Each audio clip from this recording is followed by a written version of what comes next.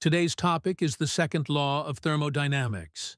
This is one of those topics that sounds scary at first, but becomes very logical once you see how nature actually behaves.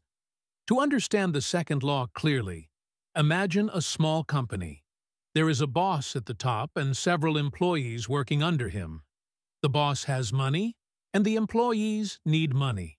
So naturally, salary flows from the boss to the employees, and not the other way round. Now, if someone claims that money can automatically flow from employees to the boss, we instantly reject that idea because it violates how real systems work. This simple picture already captures the heart of the second law, that natural processes have a preferred direction. Now keep this story in mind and connect it to heat in thermodynamics. Heat behaves exactly like money in this story. It always flows naturally from a body at higher temperature to a body at lower temperature. If you pour hot coffee into a cooler cup, heat flows from the coffee to the cup. The cup becomes warmer and the coffee cools down. We never see the reverse happening on its own, where the cup becomes colder and the coffee becomes hotter without any external help. This directly explains the Clausius statement, which says that heat cannot flow by itself from a colder body to a hotter body. The same idea appears in many other forms. Think about a balloon filled with compressed gas. When you make a small hole in it, the gas rushes out into the surrounding air. It never happens that the outside air suddenly squeezes itself into the balloon. So, the air naturally moves from the high-pressure region to the low-pressure region. Similarly, imagine a tank completely full of water connected to an empty tank by a valve. When you open the valve, water flows from the full tank to the empty one and not the other way round. Everywhere, nature follows the rule that high goes to low, unless we force it to go otherwise. Now let us move to the second major idea of the second law, which is that perfection is impossible in the real world. Even when things move in the correct direction, they are never 100% efficient. Imagine the government releases $100 under a public welfare scheme meant for a citizen. As this money passes through offices, paperwork, and middlemen, some of it is lost due to inefficiency or corruption.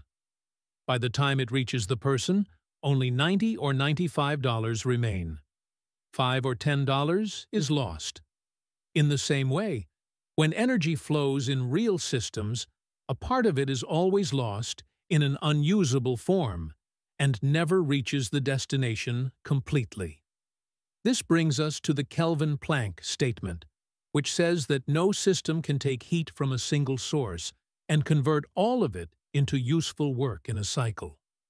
A very clear engineering example is a car engine. You put fuel into the engine and expect all of it to turn the wheels, but that never happens. A part of the energy always goes away as hot exhaust gases, noise, and friction.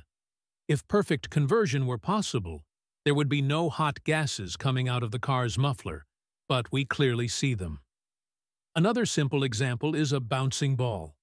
When you throw a ball upward, it comes back down and bounces, but every time it bounces, it reaches a lower height than before. Some energy is lost to the ground as sound, heat, and deformation. The ball never keeps bouncing to the same height forever. Even our own bodies follow this rule. Food is our energy source, but we cannot convert all of it into useful work. Some energy is lost through sweat, urine, and solid waste.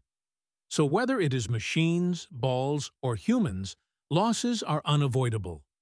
This unavoidable loss is a direct consequence of the second law. Finally, let us connect everything we have discussed to an important idea in thermodynamics called entropy. To understand entropy, Think of energy like money that is most useful when it is collected in one place. If you have $100 as a single note in your pocket, you can easily use it to buy something meaningful. But now imagine the same $100 broken into tiny coins and scattered across different rooms, under furniture or sofa. The money still exists, but it is no longer practical to use. You would spend more effort collecting it than the benefit you get from it. Entropy describes this exact situation for energy. When energy is concentrated and organized, it can do useful work. But as any real processes happen in this universe, energy always spreads out into the surroundings as tiny amounts of heat, sound, and vibration. Once energy is spread like scattered coins, it becomes extremely difficult and practically impossible to gather it back and use it fully. This spreading of energy is what we call an increase in entropy. Now, building on this idea, the second law tells us something very important. It says that in any real process, once energy has been scattered like those coins, it cannot come back together on its own. No natural process will neatly collect those scattered coins and put them back into your pocket without extra effort from outside. In simple words, disorder or spreading of energy can happen naturally. But the reverse, which is the energy becoming organized and concentrated again, does not happen by itself. By the way, this idea naturally leads us to the concept of efficiency. Since energy always spreads out, and some of it is lost, no machine can ever be 100% efficient. In the next video, we will see how this idea helps us define and understand the idea of efficiency of machines and cycles in engineering systems. Like share and subscribe. So good.